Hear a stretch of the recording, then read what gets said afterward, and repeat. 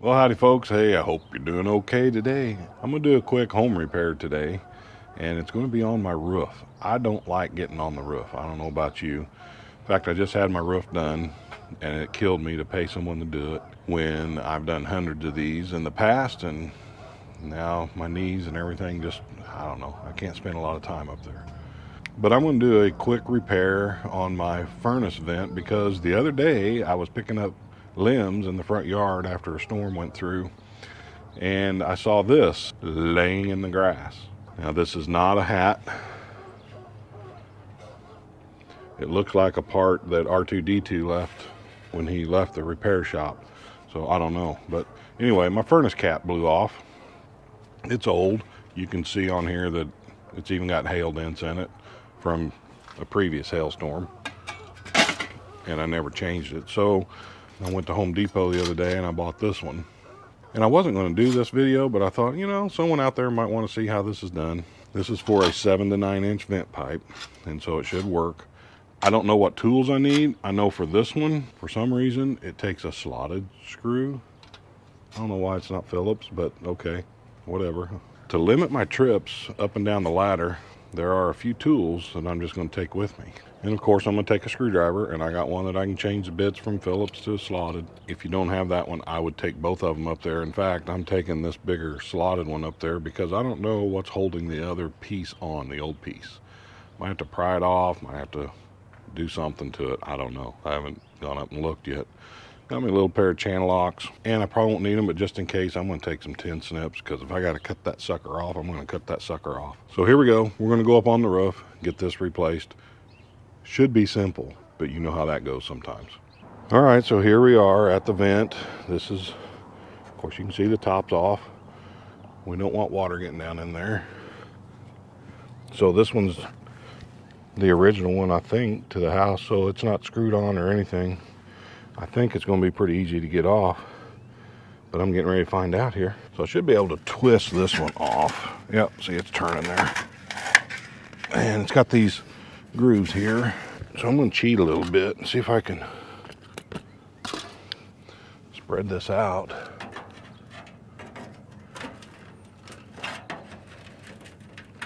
And of course the water heater's on, so there's a lot of heat coming out of here. There we go. So that was easy to get off. And I don't know how yours will be, but it's probably going to be just as easy. So this new one then will go on, and I hope it's not too big. It's really amazing how expensive these things are. This thing right here was almost 75 bucks at Home Depot. Isn't that crazy? It said seven to nine inches, and this should should be an eight inch pipe, so I don't know if it's gonna work or not. I'm almost as tight as I can go. Yep, this is too big. I'm gonna take it back. I got everything tightened down. Guess this pipe wasn't as big as I thought it was gonna be. I really don't wanna have to go back to the store. So, a little bit of good news and some bad news. I'm gonna do the bad news first. My old one, or the other one that I had, the new one, was too big for this. That's an eight inch pipe. It said seven to nine, and it wouldn't go small enough. So that's the bad news. I had to run back to Home Depot, exchange it, get me another one. The good news is, this one was $23 cheaper. And it better not be too small. All right, let's see what we did, what we got here. This one's for five to seven inches. Really weird that that other one didn't fit. But I saved 23 bucks counting tax. Went from 73 something to $50 and something, so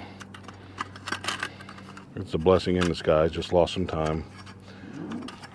All right, let's see what happens here. There we go. Now we're on there. So now it's just a matter of tightening all these screws up.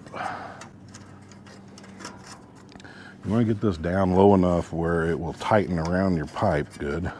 Because you don't want it blowing off. I have a little bit of a line there I'm going to use from the old pipe. Now this has these square nuts on here and you can hold it with your thumb and it'll also go against the vent and help hold it. So you really don't need pliers unless you're going to crank it down super duper tight. And if I can get it all in with one screw, I'm going to. I'm not going to tighten all three of them up if I don't have to. We'll see how it goes. You want to make sure it's tight enough that the wind will not blow it off. Go ahead and tighten this one down. Makes it difficult with it being a slotted screw. I wish they'd have put Phillips on there. I don't know why they didn't. It is 2023. I guess I am going to tighten all three of them after all. Oh, there is more bad news. It's later in the day, the sun's been out, and this roof is hot.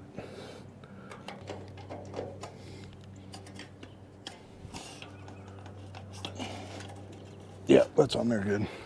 Okay, so there you have it. And you know, it would have been a really quick job if it wasn't for the fact I had the wrong one to start with. So the other trip to Home Depot made it take a little bit longer, but you saw that it really didn't take that long to change it. So if you have a problem with one of these and you can get on your roof as long as it's not too steep, you can get up there and change it yourself. Save you a little bit of cash because these things are expensive. Sonny, Sonny had to get in the video somehow and he's got his chicken that he loves. So hey, give me a thumbs up, hit that subscribe button down below, and um, get, leave me comments if you want. I hope you found this video useful, and I pray that God bless you, and I hope you have a wonderful day.